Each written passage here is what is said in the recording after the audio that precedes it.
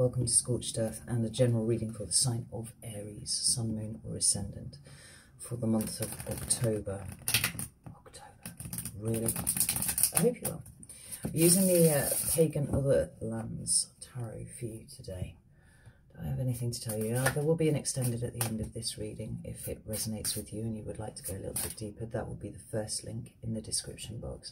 The second link is the... Uh, six month overviews for each of the signs that I did that run from July to December. I have knocked those down in price um, because we are rapidly going through that period. So if you haven't checked it out and you'd like to have a look, they are there too. Obviously, if you support me on Patreon, you get access to all of that stuff for no extra cost. So uh, that's all good. Do I have anything else to tell you? Oh, we are most certainly in the grip of Mercury retrograde as you watch this, the last one of the year. I had an abortive attempt to uh, live stream last weekend and I've had a number of uh, technological mishaps recently, so I think I'm in for a bit of a kicking in this uh, this retrograde. But you know, usual rules apply. It's nothing to be too worried about. it being Mercury, it tends to disproportionately affect uh, matters of communication and technology. So, you know, be a little uh, forgiving in your interpretations of what people say to you, uh, because often you may be talking at cross purposes.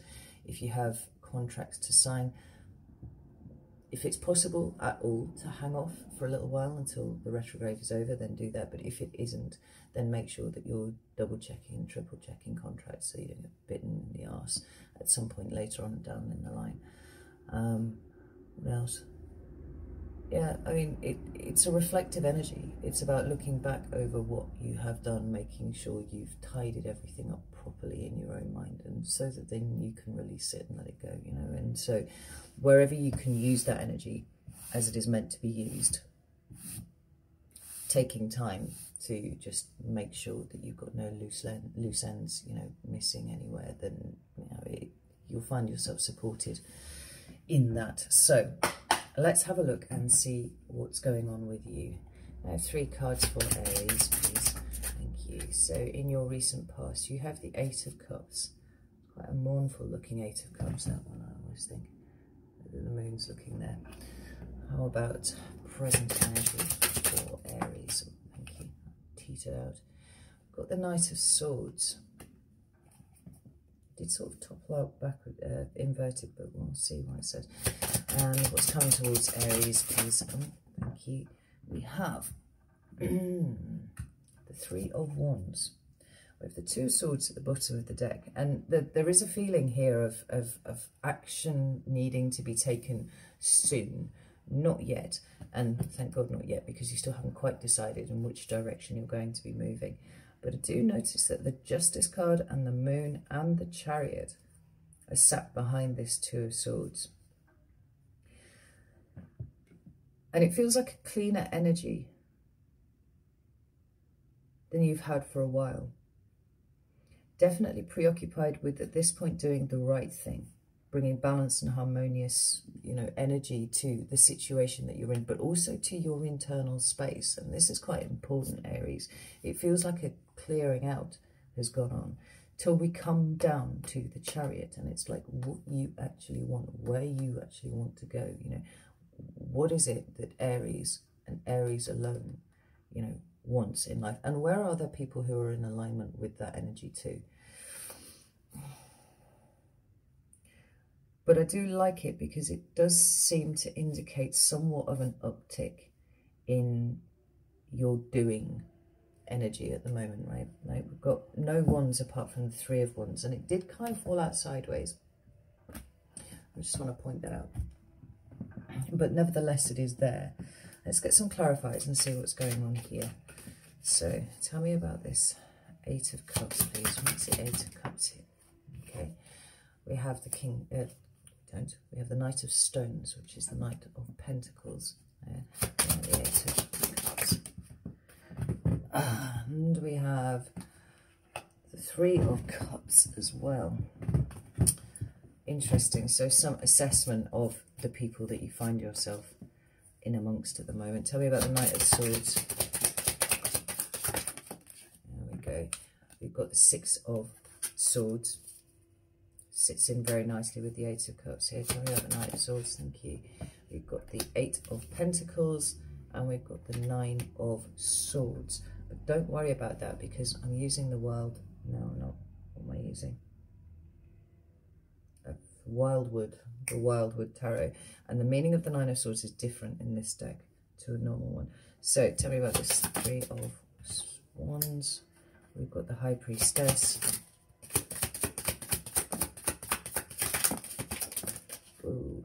And we've got the Lover's card. I actually really like the direction of this. Like I said, it does feel like there's a clarification of your energy going on at the moment. The way that you've got there may have been very uncomfortable and very, very difficult because I think that you've been wrestling with some really big themes in your life um, and certainly in your internal space for some time now. But it kind of feels like you've hit bedrock. And by that, I mean like there's no more digging to be done yet here and now. It's about sort of consolidating what you have, you know, what insights you've got and uh, making sense of that before starting to construct some way of going back up again. At the bottom of the deck, we do have the Wheel of Fortune, followed by the Six of Cups and then the World card. And so it seems like Mercury retrograde may be quite important for you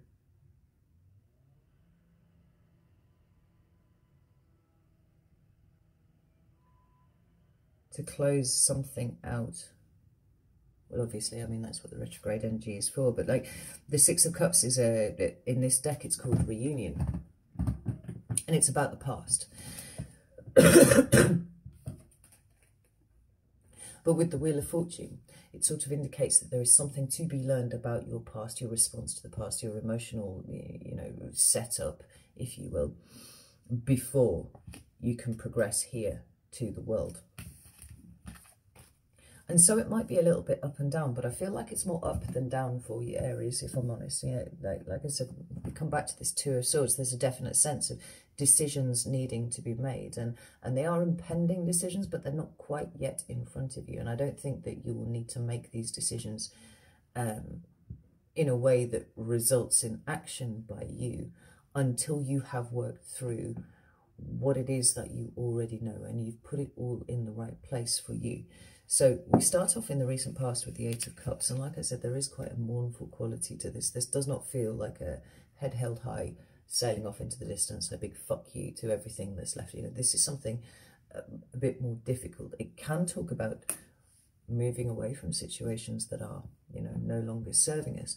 But with the Eight of Cups, because it is emotional in nature, because of the cups, it, it tends to be the emotional responses that we have the you know, emotional circumstances that we are attached to. So we know that it's very, very easy to walk away from a situation, but sometimes we take all of the emotions that that situation caused in us with us, and we can carry those around for decades, and most of us do, until we get to a point where we start to release those things, or we understand that past situations are still informing the present, you know. But with this Knight of Pentacles here, and this Three of Cups.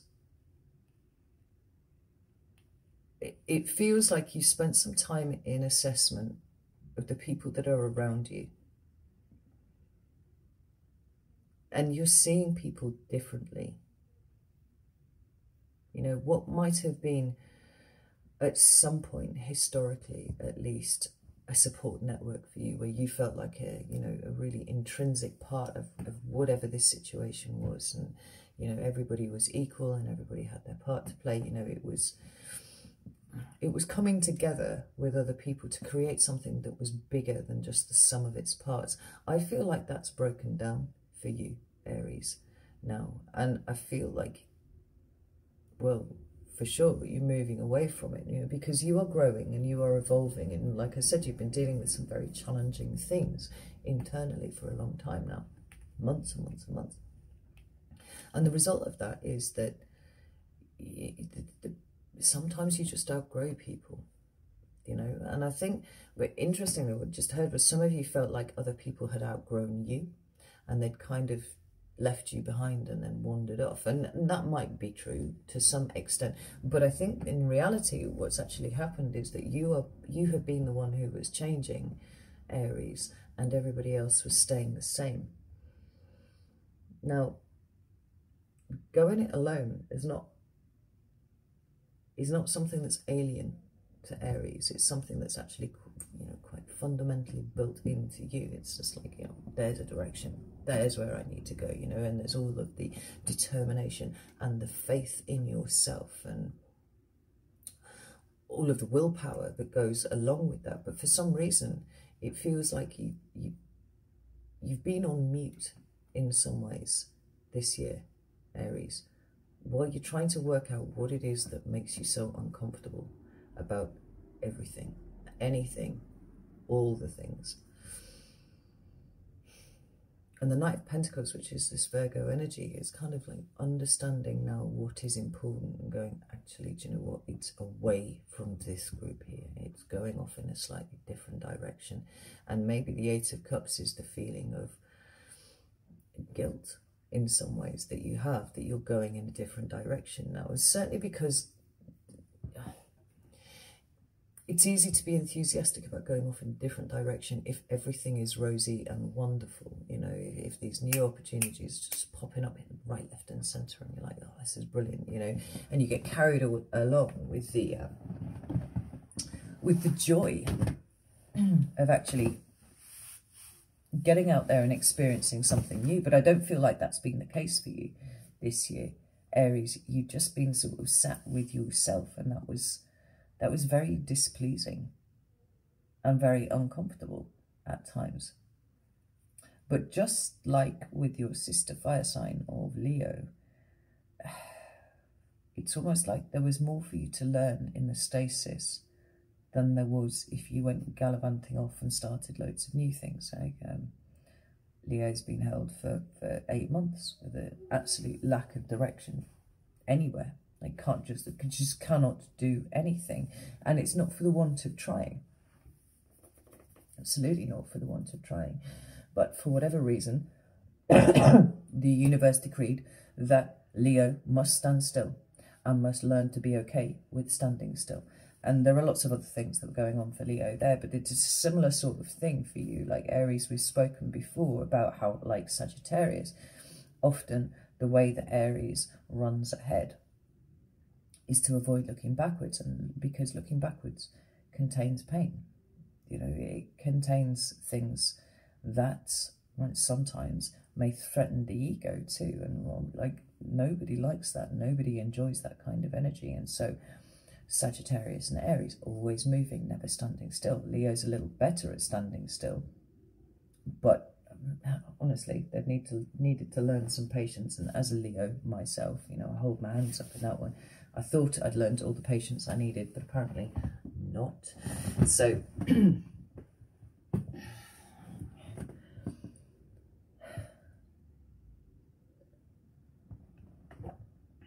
there's a fundamental understanding of what is important now to you. And I feel like it's different, and it can be markedly different, or it might be very subtly different to where you were six months ago. But I think a, a huge part of this is leaving behind people that you thought would be in your life forever. And it explains the mournful feeling that you have coming out here. Thank you. The, the other thing was that just as this time that you spent doing nothing. I was to say doing nothing, but we know that you're not doing nothing, right? But certainly not having adventures. It's put you in touch with a part of yourself that is uncomfortable with you, Aries. And I think that this is where the insights have been coming from because as you've tackled each little bit of you that you feel is quite uncomfortable about yourself, I think that you see the reason now why you are surrounded by a particular group of people as you are, right? And observation is processing, right? So as you've become aware of this, so you can't unknow it. And once you become aware of it, you see the reason why you've got these particular set of people in your life, and you see how perhaps they have not been the best for you. But you've seen also how you've allowed this group of people to make up the majority of, of who surrounds you, right, at this point. And yeah, now it's like, well, I am not really part of this. I'm not really part of this tribe. I need to move away. They need to move away. Like there's a there's a divergence going on here. Now, when we move into your current energy, we've got the Knight of Swords, who I thought came up in the reverse, but I wasn't sure. It kind of tipped at the last moment. And the Knight of Swords is about it's about communication ultimately it's about the way that you express yourself to other people and it's pretty fast it's pretty hasty and as i'm saying that i do feel actually that the card should be in the reverse here because because the, the, the knight of swords is about the transmission of information. And what i'm not feeling from you here are big deep conversations with other people. What I feel is you sitting in conversation almost with yourself, and that isn't the information that's coming up in there isn't really for the ears of other people. You know, it's for you to hear and then for you to sift through and see what you feel about all of these things. It's certainly not communicating it to other people because I said this is really fast. It's really hasty. It's kind of tripping over your words in in the. Uh, in the need to get something expressed. And I think that that aspect of you perhaps was more um, in play earlier on in the year when you were trying to explain yourself and trying to make people understand what you were going through and you know to a degree not the full extent of it but you know just trying to give some manner of explanation to people i think that you just stopped with that aries and, and you may have become quite withdrawn but it's not like you're sitting in misery. It's like you've only got so many spoons in a day, right? Spoon theory, Tumblr thing, right? and so many of your spoons have been going on making sense of what it is that you have been experiencing, but there just aren't that many left over now. And And I think to, to a large degree, you haven't really got anywhere with trying to explain things to people. And so now it's become deeply internal. What we have underneath here is the Six of Swords, the Eight of Stones, which is the Eight of Pentacles, and the Nine of Swords. And like I said to you, the Nine of Swords here has a different meaning to the normal Nine of Swords. I'm going to show it to you first, right? The key word at the bottom of the card is dedication. We've got a woman walking along. She's got her eyes closed. She's walking along a fairly, you know, uneven path. And she's holding a bow and arrow in her hand. And she looks like she's There are arrows all around her, and they look like they've been thrown at her. You know, but every single one of them has missed. She's got one in her hand, but she's not firing it off anywhere. Like it's it's in her hand and it's resting on the bow. It's actually resting in the wrong direction altogether. She has it in her hand. That is an ace there that she's holding, and all of these other arrows of surrounding her. It can feel, I think, like you have been persecuted quite badly this this year, Aries, for whatever reason. But I like the fact that you are finding your feet with this. Like she's navigating With uh, her eyes closed, right? It, it's not about what's going on outside. It's all about the internal stuff and the dedication that you are now showing to the work that you are doing within. And I would draw your attention to the work card that we have literally before there. Is absolutely essential at this point because it feels like you're starting to learn to use other senses that have been somewhat dormant in you or, or, or overshadowed by other aspects of the way that you have done things before. You know, there's such a significant change in the way that you are showing up here say compared to this time last year, oh, actually, last time last year was like Mars retrograde, wasn't it? And that was full, that was fucking awful. Like, I felt that too. And it's not even my planet, you know, fire sign, but a bit earlier on last year. So,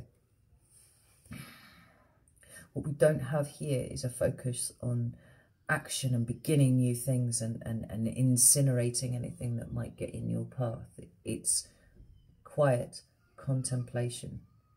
It's addressing issues that you perhaps have been running away from for a long time and sitting with them, doing your work and becoming bit by bit more proficient in how you go within what you're looking for and what you do with what you find when you get there. You know, Six of Swords is a beautiful card. I like it more than most other depictions of it because we've got somebody in this amazing swan boat, and it is absolutely amazing, leaving under the light of the moon. But they're alone and they're strong and they're doing their thing. You know, there's there's quite a quality would you use to describe the Six of Swords as you generally see it? It's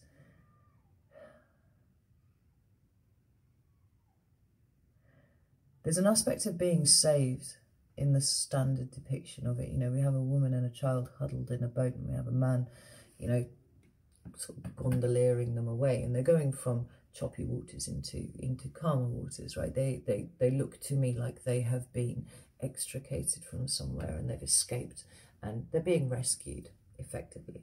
But neither the woman nor the child are finding it eh, within them to be joyful about that. They're obviously leaving behind something that has been very, very, very difficult. And rather than relief and joy, they're just huddled together in the boat. You know, they're just trying to keep each other safe. This one, this man has a far stronger pose and he is alone in the boat right, off under the light of the moon.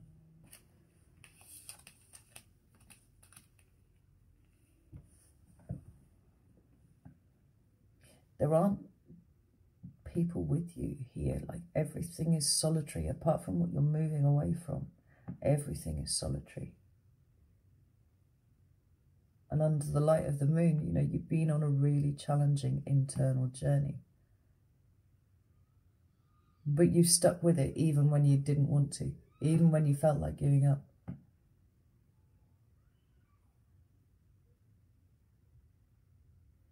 And I'm pleased to report, I think that that's going to bear fruit for you, Aries. I really do, because yes, this sort of came out sideways, so uh, this is coming towards you. I pay close attention to the way that the card comes out, right? And it did come out sideways. There's a bit of equivocation here. This would be a very strong stance of that this is where I'm going and this is what I'm doing. And I don't think that you're quite sure of what that is yet. I don't think you are. This would be a lack of movement in any direction, right? Or a block or a delay on it. This feels more like caution to me. It feels like I will know where I'm going and what I'm doing when I know it when the energy of these cards here, the chariot, the moon, the justice card, and the two of swords have all done their thing, like they're sitting behind that. Once this is out of the way, what? Screaming child. Why? Once these things have been dealt with here, then this dissolves, this goes away. And at that point, I feel like your Three of Wands will turn the right way up only one card. It's the only bit of fire that we've had for you in the entire reading. And Aries, you don't have any issue with doing, right? There's, there's no intrinsic deep lesson for you to learn in doing. You are ruled by Mars, right? It's all about taking action for you. But everything else is what has been um, requesting attention for you during this time, right? So, although it's sideways, it is going to go up soon, once all of this stuff is dealt with. But underneath here, we've got the High Priestess and we've got the lovers. And this is interesting, very interesting to me, not least because the High Priestess is an extremely internal card. It's about as opposite to your energy as it's possible to get. And it's Pisces, okay? Pisces is the last um, sign in the zodiac, and you are the first. The cyclical cycle of everything, the cyclical nature of everything, means that, you know, when you hit the end, just as you do with the world or with the 10 or with a king, you know, whatever. Where you do then is you cycle back to an ace or the fool, you know, the, the very beginnings of things. From Aries, you go right the way around the zodiac to Pisces, and then, presumably, we're back to Aries again. Right?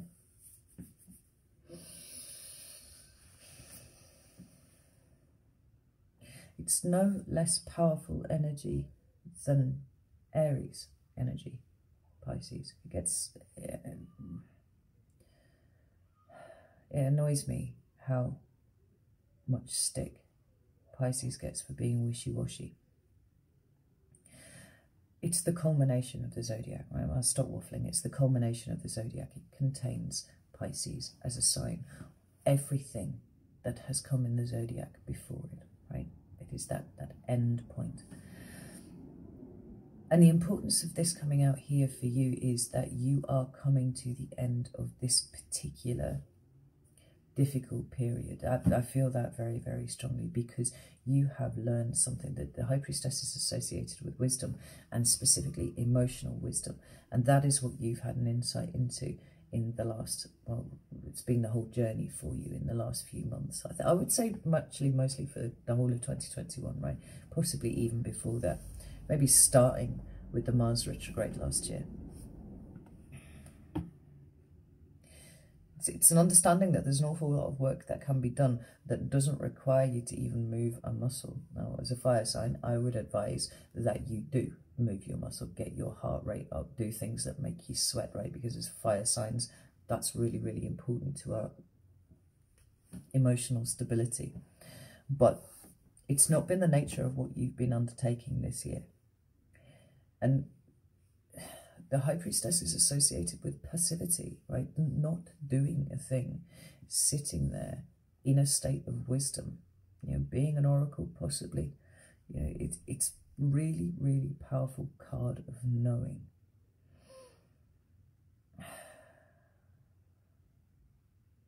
And of secrets being revealed. And, you know, not only have you had the moon card there in the shadow cards at the bottom of the deck, but we also have it very, very strongly here with the Eight of Eight of Cups. We have it strongly again in the Six of Swords. Both cards of the internal, both cards of things that are hidden, that are secret, that are now accessible by you. Your next movement forward, when it happens, will not be intellectual. It won't be I've sat and I've reasoned all of these things out, right? This possibly has been about getting you in touch with your intuition in a way that you haven't been before because the Lover's card is a card of manifestation. It's a strong card of manifestation. It's actually about a choice more often than not, you know, it, and it's not about choosing one thing or over another. It's about the act of standing up and going, I am now going to make a decision about my life and I'm going this way or I'm going that way, not something, generally Aries, that you have a problem with before, but this is a real gut pull in a particular way. Right? This is your intuition taking over and going, this is the right direction for me now. And it's going to feel very, very new to you because although it's like the way that you have always done things, it feels like it's coming from a different point because there are things in you that have been gently washed away by this period that you're in.